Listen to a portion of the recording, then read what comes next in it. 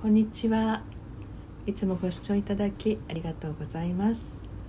えー、本日は昨日の藤井風さんのグッズ第2弾、えー、残念ながら購入することができなかったというご報告です、えー、狙っていたグリーンのバンダナ8時10分にもうほぼ完売していた模様です、えー、ちょっと落ち込んでた時に朝、えー、風さんからインスタがあインスタのストーリーが上がってたのであもう本当に落ち込んでましたけどちょっと元気になりました、えー、ライブこれからライブをしても生で見たいのでこんな落選するんだったらチケット取れないなって